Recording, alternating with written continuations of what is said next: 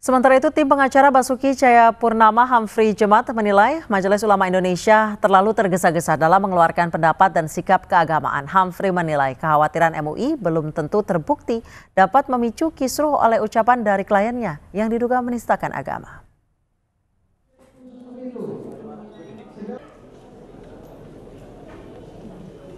Pada sidang ke-8 ini, salah satu saksi yang dimintai keterangan adalah Ketua Majelis Ulama Indonesia, Kiai Haji Ma'ruf Amin.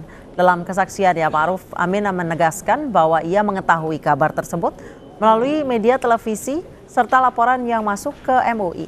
Ma'ruf menegaskan ia hanya melihat rekaman video dan tidak melihat secara langsung saat Ahok berpidato di depan warga Pulau Seribu.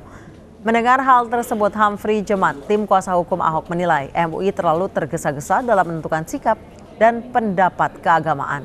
Apalagi MUI tidak melakukan cross-check terlebih dahulu terkait kasus ini. Kiai Haji Ma'ruf Amin merupakan salah satu saksi fakta yang dihadirkan oleh Jaksa Penuntut Umum. Kesaksian dari Ketua Umum MUI ini dibutuhkan untuk memperdalam terkait sikap dan pendapat keagamaan yang dilontarkan oleh Majelis Ulama Indonesia pasca kasus dugaan penodaan agama muncul di media.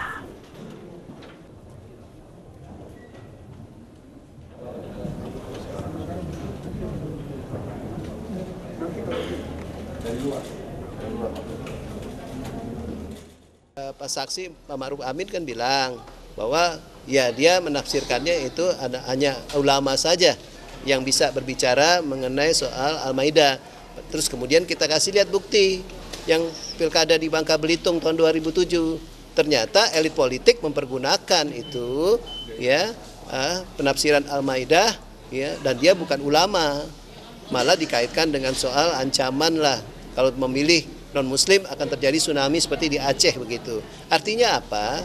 Ucapan daripada Pak Basuki itu punya alasan untuk bukan ulama sebenarnya, yaitu elit politik begitu. Ya, karena punya dasar. Dasarnya itu kejadian waktu di Bangka Belitung. Kecuali kalau dia nggak punya dasar berbicara seperti itu, dia ada dasar kok.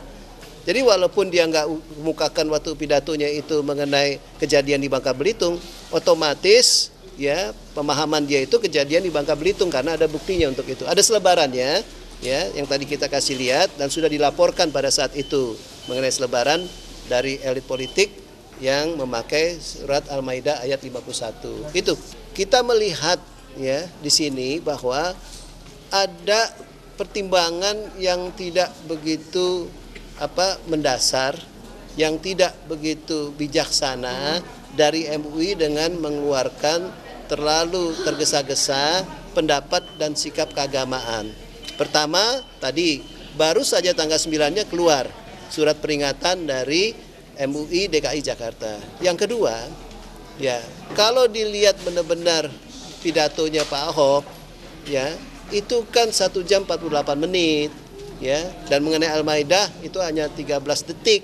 Ini nggak perlu ditanyakan, nggak. Nah, nanti kita akan gali lagi dalam setelah apa break ini ya yang dia maksudkan bahwa tanggal 1 Oktober itu sudah dilakukan katakanlah yang namanya penelitian dan investigasi itu seperti apa? Katanya betul kan? Kalau ke Pulau Seribu apa bentuknya? Betul kan? Apa penduduk di sana ditanya? Nah kalau tanggal 1 sudah ditanya kok nggak ada pulau, penduduk Pulau Seribu yang melaporkan Pak Basuki ya malah menyambut baik Pak Basuki. Kemarin aja baru datang sana disambut meriah. benar-benar